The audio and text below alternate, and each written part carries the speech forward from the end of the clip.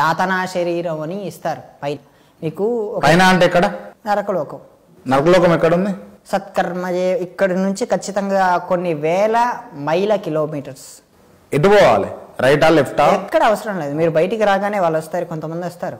వస్తారా? కొంతమంది వస్తారు. ఎవరాళ్ళు? వాళ్ళు మీరు ఈ శరీరంతో ఉన్నంత కాలం సినిమాలలో చూపిస్తారు ఆ నలుగురు ఆ సినిమాలో ఆ ఉంటారు. నలుగురు నిజంగా చాలా మంచి సినిమా.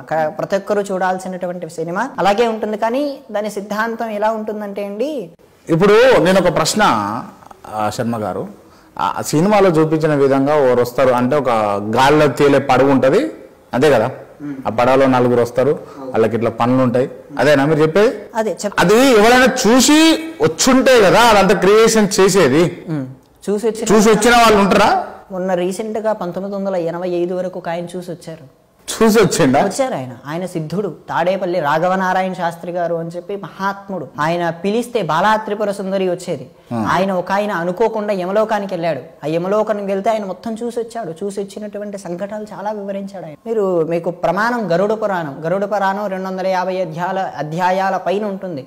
దాన్ని అది ఎక్కువైపోయింది తెలుసుకోవడం కోసం అని చెప్పి దాన్ని పదహారు గ్రంథ పదహారు అధ్యాయాలుగా ఒక గ్రంథం ఉంది రెండు వందల యాభై అధ్యాయాలుగా ఒక గ్రంథం ఉంది. ఆ రెండు వందల యాభై అధ్యాయాల్లోకి వెళ్తే మీకు తెలుస్తుంది ఒక ఒక దేహం నుంచి జీవి బయటికి రాగానే ఆ జీవి సూక్ష్మ మాత్రం చేత ఈ ఎవరైతే ఉన్నారో మనం చేసినటువంటి కర్మలు అనుసరించి ఒకవేళ దుష్కర్మలే చేశాం అనేటటువంటి టాపిక్లోనే మనం మాట్లాడుతున్నాం. దుష్కర్మలు అంటే నరకానికి వెళ్ళేటటువంటి సిద్ధాంతం. ఆ సిద్ధాంతం వస్తున్నప్పుడు ఈ పైనుంచి వచ్చేటటువంటి వ్యక్తులు యమభటులు. యమభటులు ఎంత హైట్ ఉంటారో సినిమాలో చూపించిన విధంగా అంత గంభీరంగా అంత ఎత్తుగా ఉండరు. ఎంత ఎత్తుంటారంటే ఒకరే ఒక బొటని వేలు ప్రమాణం. ఆయన ఎంత ఆ యమభటి వై హైట్ ఎంత అయ్యా అంటే ఒక బొటని వేలు. వాళ్ళు అన్నం తింటారా?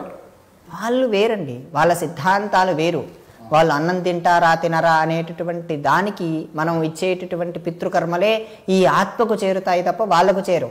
వాళ్ళు ఒక వేరే డైమెన్షన్లో ఉన్నటువంటి వ్యక్తులు ఆ డైమెన్షన్లో ఉన్నటువంటి వ్యక్తుల గురించి కంటే ఈ జీవి గురించి తెలుసుకోవాల్సినటువంటి ఆవశ్యకత మనకు చాలా ఉంది. జీవి అంటే ఈ మనలో విడిపోయినటువంటి జీవి గురించి తెలుసుకోవాల్సినటువంటి ఆవశ్యకత. ఈ జీవిని ఒక ముహూర్త కాలం ఒక నలభై ఎనిమిది నిమిషాలలో పైకి తీసుకెళ్తారు. పైకి తీసుకెళ్ళి ఒక యాతనా శరీరం ఇచ్చి మళ్ళీ కిందికి తీసుకొస్తారు.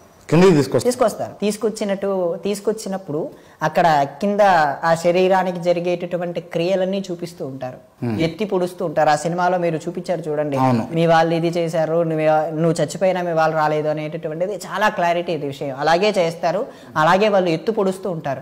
పదకొండు రోజుల వరకు ఆ జీవిని ఏం చేస్తారు అంటే తన ఇంటి మేడపై వరకు తీసుకెళ్తారు. అలా తీసుకెళ్ళిన తర్వాత ఒక పదకొండు రోజుల వరకు ఆ జీవి అక్కడే ఉంటుంది. ఆ ఇంటి చుట్టూ పరిసరాల చుట్టూనే ఉంటుంది. ఆ పరిసరాల చుట్టూ ఉన్న తర్వాత పదకొండో రోజు ఆ ఇంట్లో జరిగినటువంటి పన్నెండో రోజు శుద్ధ అయిపోయిన తర్వాత తీసుకెళ్తారు. తీసుకెళ్ళిన తర్వాత మీకు ఇంగ్లీష్లో ఇంటర్ ఇంటర్ స్టెల్లార్ అనే ఒక సినిమా ఉంటుంది. ఆ సినిమా ఒక ఆ పేరు గుర్తుపెట్టుకోండి చెప్తాను దాని గురించి.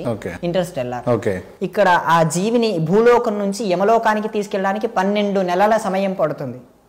ఎంతకాలం అండి? పన్నెండు నెలలు. పన్నెండు నెలల సమయం. మనం ఒక వ్యక్తి చనిపోయాక మాసికాలు అంటూ పెడతాం. ప్రతి నెలా పెట్టాలి. అంటే ఈరోజు డేట్ పరంగా కాదు ఏ తిథి అయితే చనిపోయాడో ఆ తిథిని అనుసరించి ప్రతి నెల ఆ తిథికి ఆ జీవికి ఆహారం అంటూ అందించాలి. ఆ ఆహారం అంటూ అందించడమే ఈ పన్నెండు నెలల ప్రయాణంలో మనకు నెల అనేటటువంటి భాగం అతనికి ఒక్క రోజుతో సమానం. అర్థమైందా? అంటే ఈ పన్నెండు నెలల సమయంలో మనం పన్నెండు సార్లు మాసికాలు పెడతాం. ఈ పన్నెండు మాసికాలు అనేటటువంటి విధానం ఎలా ఉంది అంటే ఇక్కడి నుంచి ఆ గ్రహానికి ఆ యమలోకానికి ప్రయాణం చేస్తున్నటువంటి కాలంలో ఇక్కడి నుంచి అక్కడికి వెళ్ళడానికి మనకు నెల రోజులైతే ఆ జీవికి ఒక్క రోజే. అర్థమైందా? అంటే మనకు సంవత్సర కాలం అక్కడికి వెళ్ళడానికి కానీ జీవి దృష్టిలో పన్నెండు రోజులు. పన్నెండు రోజుల ప్రయాణంతో అది యమలోకానికి చేరుతుంది. చిన్న లాజిక్ శర్మ గారు. మనం ఇక్కడ అన్నం పెడితే అక్కడ పైన ఉన్నటువంటి జీవి ఎట్లా సైన్స్ అయితే ఇప్పటివరకు సమాధానం చెప్పలేదు. అసలు వాస్తవానికి జరుగుతుందా? జరుగుతుంది. ఎట్లా? కాకి తీసుకుంటుంది కదా.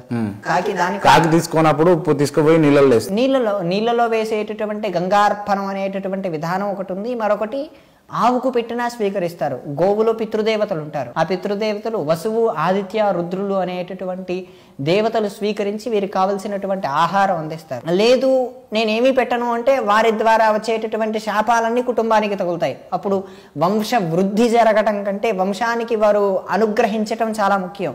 అనుగ్రహించటం అనేది జరగకపోతే వారిని ఆకలితో మార్చినట్టు అవుతుంది. వారు ఒక కొన్ని ప్రాంతాలకు చేరుతారు. ఒక నెల అవ్వగానే ఒక ప్రాంతానికి చేరుతారు. ఒక ప్రాంతం దగ్గర ఇలా కూర్చుంటారు. మీరు పెట్టినటువంటి ఏదైతే పెట్టారో అవి కొన్ని సూక్ష్మ రూపంలో వారికి చేరి ఆహారాన్ని తీరుస్తాయి.